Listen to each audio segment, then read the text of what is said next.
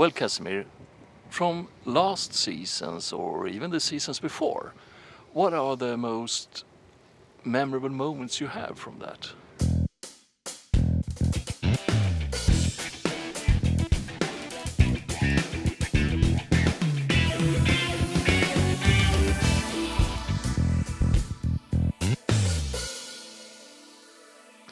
I would say that there are three things that I remember especially from Architecture Corner last year.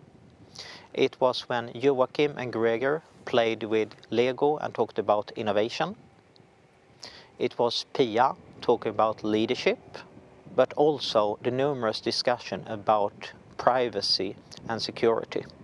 Why was those so interesting for you?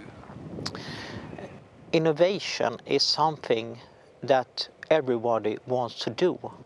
Uh, it was joyful to see Gregor and Joachim playing with Lego. Innovation should be fun, and that was a good message in that episode. Based on innovation, where are we now? We are at Kullen, and in the background we have a replica of an old lighthouse from centuries ago. And why is that so significant? This is one of the most dangerous straits in the old world. It's huge rocks and cliffs. As today it's very foggy. If we were sailing and didn't see the shore, then there will be a wreck. Innovation is going from that old wooden lighthouse to the new one that was built 100 years ago with stone and the light source is gas and that is one of the Swedish invention. The purpose with the lighthouse is to avoid accidents and this is one of the topics with security is to make your company run without having accidents with the IT and other things.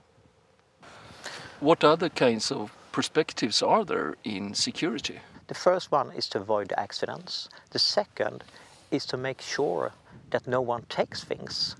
It's a lock.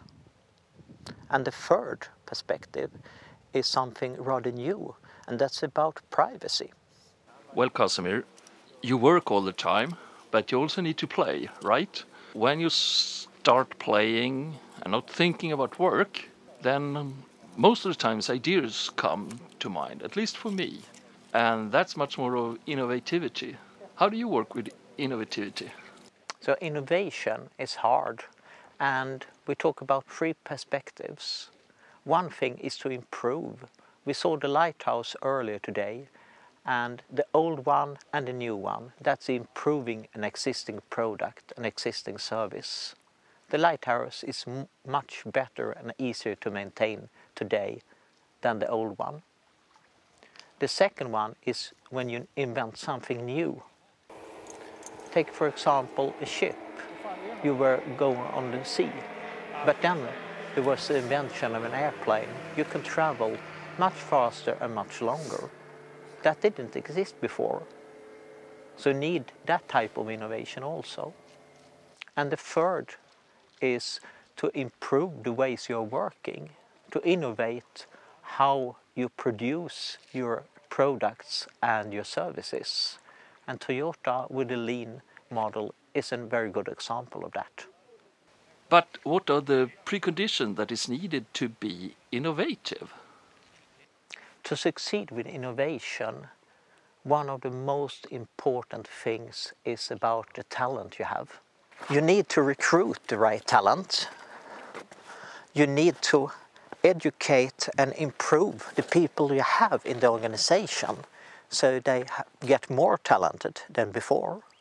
And you need to be able to keep the talent in your company so they don't go to others.